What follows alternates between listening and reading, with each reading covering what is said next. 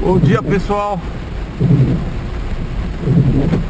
É, Hoje é dia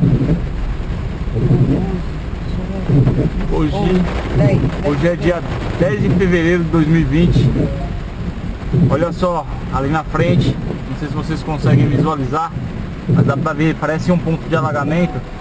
Na verdade ali passa um rio. E quando esse rio transborda assim aquela, aquele espaço ali ele serve como se fosse um piscinão. Bom, o que que acontece? Já fazem cerca de 14 horas mais ou menos, 13, 14 horas, que está chovendo sem parar em São Paulo. Como vocês podem perceber, a chuva está bem forte. Então tem uns momentos que ela fica um pouquinho mais amena, mais fraca um pouco, depois volta com força total. Vários pontos de alagamentos em toda São Paulo, nós estamos em Santana de Parnaíba, nesse momento, aqui também tem vários pontos de alagamento, vários pontos da cidade interditados. É, tinha até um lugar que eu gostaria de passar, mas para mostrar para vocês, mas não vai ter condições. Mas eu vou, vou ver se eu faço uma edição nesse vídeo. Eu coloco um vídeo que a própria Defesa Civil gravou, que é da ponte que, que cruza o Rio Tietê aqui na região de Santana de Parnaíba que é um lugar onde também o rio ele forma um, um espaço de um, um, uma forma de um piscinão, um tipo de um piscinão, que é justamente para quando transbordar, né, quando encher demais, ele não chegar a transbordar, a invadir casa e tudo mais. É, um, é uma área que fosse, serve como se fosse um piscinão natural. É, porém, misericórdia, aqui na lateral, aqui, minha esposa tá mostrando aqui na lateral, Tá feio o negócio. Vamos ver se eu, se eu consigo chegar num ponto que eu consigo mostrar pra vocês. Então, porém, o que que acontece? É... São Paulo está toda debaixo d'água. Uma boa parte de Osasco, Barueri também. Aí depois a próxima cidade é Santana de Parnaíba, vindo sentido rio, tá? Depois vem Pirapora do Bom Jesus, Cabreúva, Itu e por aí vai. Que que acontece? Em São Paulo não tem nenhuma represa. A primeira represa ela está em Santana de Parnaíba. Depois tem uma represa em Pirapora do Bom Jesus. E depois tem uma mini represa, uma pequena represa lá em é, finalzinho ali de Cabreúva e início de Itu. E aí o que, que acontece? Se Santana de Parnaíba fechar a represa, São Paulo fica inteira debaixo d'água. Se Santana de Parnaíba abrir totalmente a represa, Pirapora do Bom Jesus fica embaixo d'água. E inclusive já foi confirmada uma morte por conta da enchente. Olha, ali, ó. Desbarrancou aqui, ó. Olha aqui, bem na nossa frente. Bem na nossa frente aqui, ó. Olha aí, desbarrancou esse morro aí, ó. Olha só. Estão enxergando aí? Misericórdia, né? Nem vou ficar muito perto aqui. Não, mas isso aí é só pedir telefone. Tem muita água ali. Nossa, gente, quer ver? Vamos voltar um pouco pra, pra eu pegar aqui a câmera e mostrar bem pra vocês. Vou voltar aqui, ó. Minha esposa vai segurar a câmera aqui pra gente pegar aqui pra vocês. Pra vocês terem uma noção do que é que tá acontecendo. Olha aí encostado assim. Meu, olha isso. Olha casa isso. tá, tá perigoso, viu? Olha só isso aí. Entendeu? Olha isso. Deixa eu continuar aqui porque tem carro vindo atrás de mim aqui. Gente, tá, o negócio tá realmente Eu botar a câmera aqui de novo. O negócio tá realmente tá feio. E aí o que que acontece? Como eu tava falando, então assim, nós não podemos. Também caiu, ó. Ali na frente caiu também? Também caiu, dois pontos. Meu Deus do céu. Aqui, essa parte que nós vamos passar aqui agora, ó, ela enchia também. Provavelmente não tá enchendo agora porque é, foi arrumado aqui recentemente. Só que tem, ó, tá vendo que tá, tá meio interditado aqui, ó? Ah, tá, desbarrancou lá dentro. Olha lá, ó. Olha lá, é justamente porque tá desbarrancando também. Olha lá o tanto que caiu ali. Ó, Caiu mesmo. pedaço todinho caiu. É, tem um pedaço ali também caiu. Não é nada muito grave, mas caiu um pedaço. O negócio tá feio. E aí, como eu tava falando, né? Então, por exemplo, se, se Pirapora abrir totalmente a barragem, Cabreúva fica toda debaixo d'água. Então ela tem que abrir dosadamente. A mesma coisa é, acontece com Santana de Parnaíba e assim vai. Então as represas elas, elas se comunicam, né? Para que a gente, para que possa haver um, é, um meio termo. Então o que, que acontece? Tem vários pontos de alagamentos pela cidade, vários pontos de alagamentos pela cidade, por todas, né? Todas essas cidades que é, onde o rio Tietê passa. Então é, São Paulo tá toda debaixo d'água. São Paulo tá debaixo d'água, Santana de Parnaíba, é, Osasco, Barueri, Santana de Parnaíba tem vários pontos de alagamentos também. E, enfim, então realmente está uma situação bem caótica. É, eu estava vendo uma matéria falando que é, os especialistas aí, eles estavam prevendo 150 milímetros de chuva para o mês de fevereiro. E de ontem para hoje, nessas, é, nessas 12, 13, 14 horas aí que tá chovendo, já choveram 110 milímetros. Olha ali, ó. Olha lá. Mais um ponto que desbarrancou. E, cara, se eu rodar a cidade, se eu rodar a cidade, vai ter muitos outros pontos de, de deslocamento de terra e coisa do gênero. Aqui mesmo para onde a gente está chegando aqui, ó, se a gente passar, se a gente chegar ali, ó, onde, que ver mais ou menos aonde vai passar a moto daqui a pouco, se nós entrarmos ali à esquerda, certamente que vai ter vários pontos ali de deslizamento, deslocamento de terra. E nesse momento, eu tô justamente indo na casa da minha mãe para tentar convencer a minha mãe a voltar para minha aí para minha casa, ficar na minha casa até passar as chuvas, porque na casa da minha mãe também teve um deslocamento de terra. Também desbarrancou, árvores caíram, entendeu? E aí, inclusive assim, vamos ver se eu vou conseguir chegar a filmar lá, mas se eu não conseguir filmar lá na casa da minha mãe, eu coloco umas fotos aí para vocês verem. Então, tá uma situação bem caótica na cidade.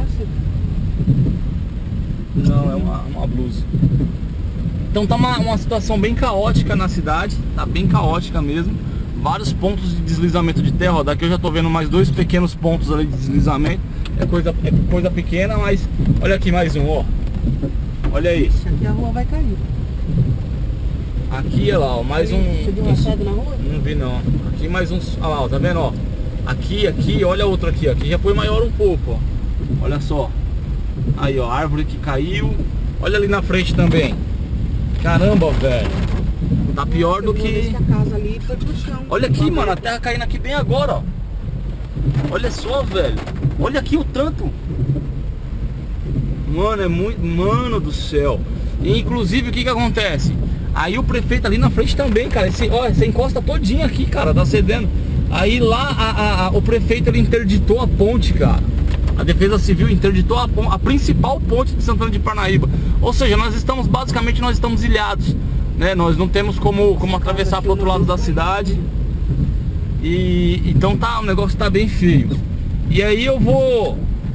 Eu tô indo sentido da casa da minha mãe pra ver como que, que tá a situação lá e pra ver se a gente consegue tirar minha mãe de lá. Né? Então, cara, assim, é, só desejo que Deus possa abençoar aí as pessoas que, que estão em, em locais de, de risco. Aqui também, quer ver? A gente vai passar por uma área aqui que é bem perigosa, ó. Aqui, ó, olha quanto, quantos pequenos pontos aqui de deslizamento, olha. Então que Deus possa abençoar, cara, as pessoas aí, possa proteger. Se você tá numa área de risco aqui, ó. Nossa, olha o tanto de terra que você deu ali, ó. Olha, tá até, tem, tem até umas, umas coisinhas descendo ali. Esse ponto aí o pessoal colocou um monte de grama. Olha lá, olha lá a terra descendo. Gente do céu, mano. Isso aqui. Aqui também, ó. Aqui que é só um barranquinho de nada. Misericórdia, Senhor, misericórdia. Então, se você tá numa área de risco, se você tá numa área de enchente, de, de, de, risco de desmoronamento, alguma coisa assim, pessoal, pelo amor de Deus, cara, procura abrigo, sai, entendeu? Procura um abrigo, já fica esperto, porque não tá fácil, mano. Tá bem perigoso.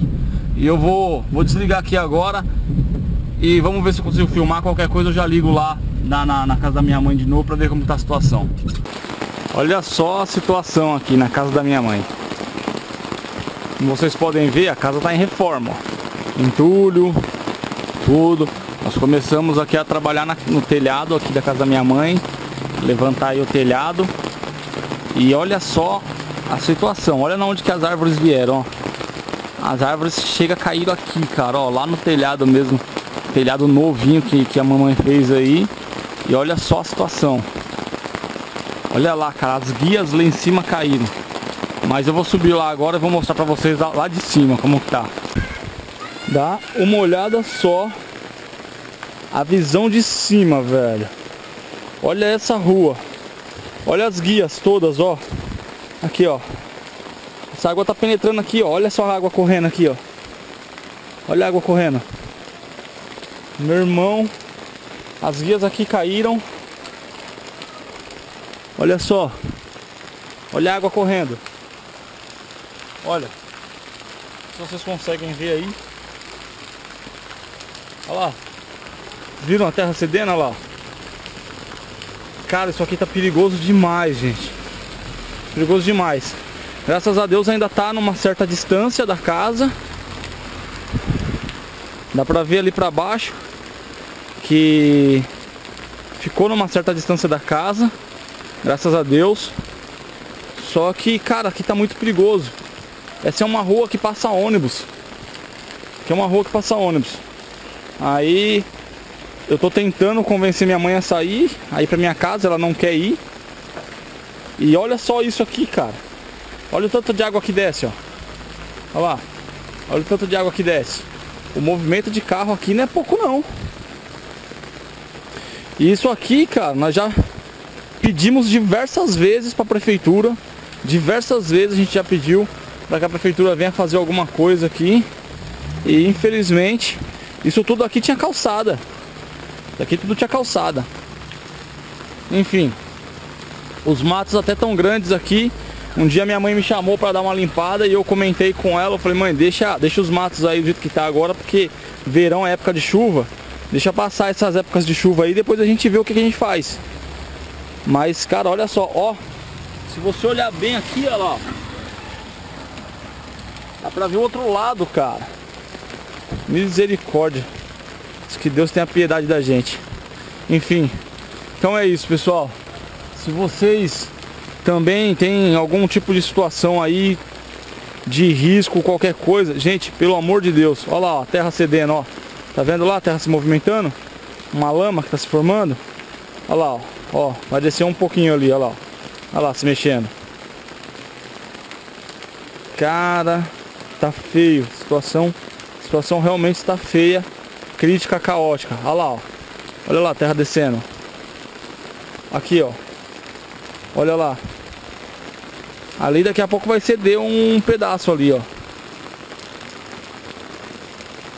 Meu Deus do céu.